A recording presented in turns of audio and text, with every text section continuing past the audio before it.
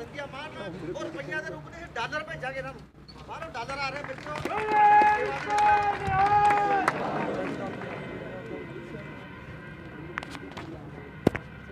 ਤੇ ਇਹਦੇ ਵਿੱਚ ਖਾਨ ਸਾਹਿਬ ਪਿੱਛੇ ਬੈਠੇ ਨੇ। ਇਹਨਾਂ ਨੂੰ ਇੱਕ ਖੇਡ ਖੇਤਰ ਦੀ ਬਹੁਤ ਵੱਡੀ ਹਸਤੀ ਆ, ਗੁਰਪ੍ਰੀਤ ਸਿੰਘ ਸੋਢੀ ਸਾਹਿਬ। ਰਾਣਾ ਰਾਣਾ ਗੁਰਪ੍ਰੀਤ ਸੋਢੀ ਜੀ ਖੇਡ ਖੇਡ ਮੰਤਰੀ ਨੇ